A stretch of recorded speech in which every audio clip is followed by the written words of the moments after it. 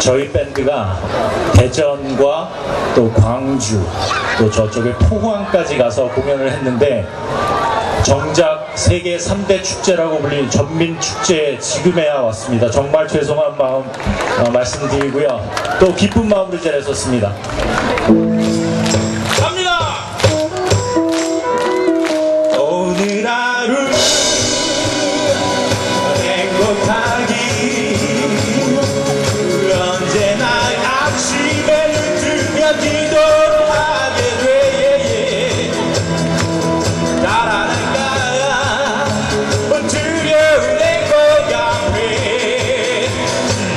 man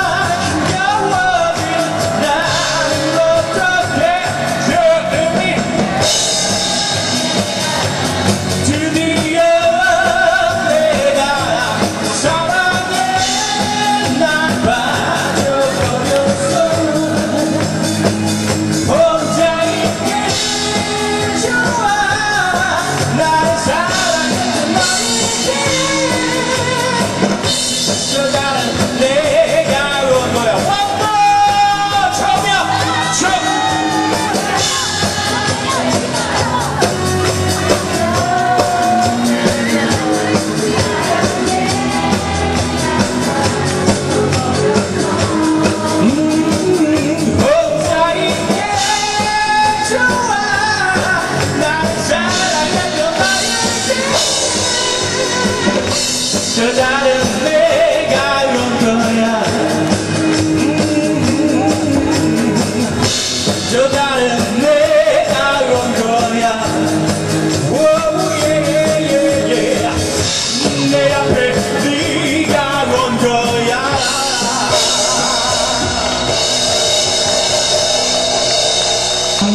다시 한번 인사드리겠습니다. 저희는 K-워터의 마스터 피스입니다. 맞습니다. 여러분 기억 속에 영원히 남았으면 좋겠네요. Friend. In